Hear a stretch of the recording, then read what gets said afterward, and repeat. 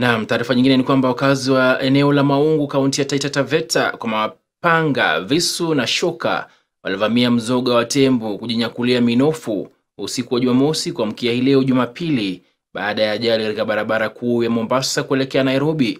Hii ni baada ya basi la abiria la kampuni ya Taghamid lililokuwa likisafiri Mombasa kuelekea Nairobi kuhusika katika ajali kwa kumgonga tembo huyo aliyekuwa akivuka barabara kuu hiyo katika hifadhi ya Tsavo Mashariki.